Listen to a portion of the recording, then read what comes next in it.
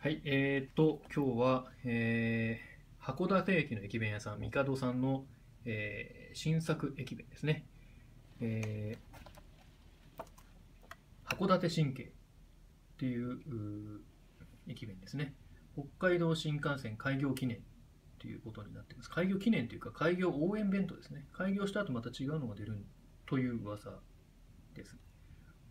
えー北のこの名物がですね、いろいろ入ってますね。ごっこの唐揚げとかね。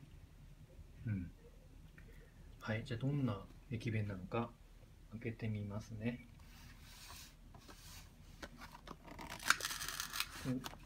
箱硬いんですよね、これね。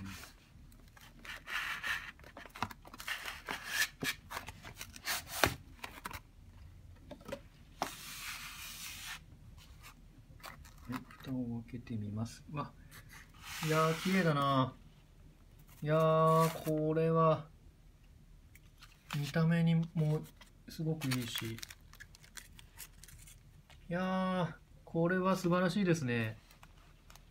このいイカ飯になってますよね。これ、イカの中にご飯が入ってて、イクラも乗ってて。最高ですね、これ。あ、これ豚だ。でこれがごっこの唐揚げとかね。で、松前漬けとか。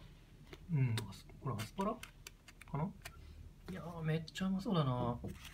うん。これは非常に楽しみです。では、後で食べてみます。